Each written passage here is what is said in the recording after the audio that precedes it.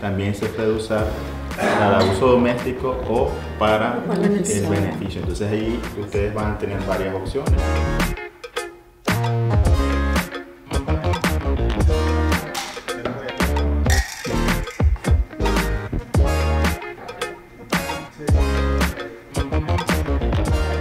Nos abastecemos del río, de la quebrada, mejor dicho, que viene, en términos de agua.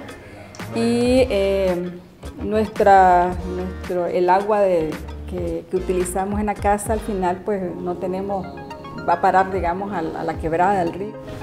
Y tenemos el ojo de agua y un beneficio grande. Hay un río para beneficiar el café.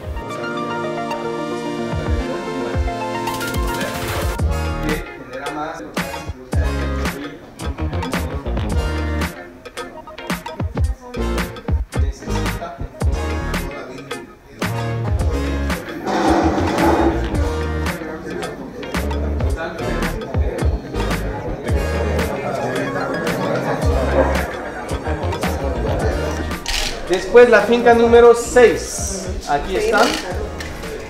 Tienen acceso al acueducto, pueden tomar para su finca. 4.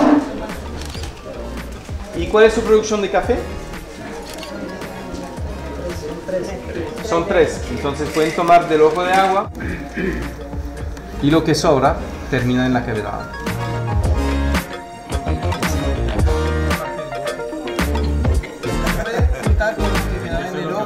Entonces el año pasado, como fue un año bueno, ¿verdad? Habían 45. Este año el río se secó y apenas hay 30 unidades. Sí, o sea, unos 30 barriles de agua. Entonces, ahora pues comencemos ver.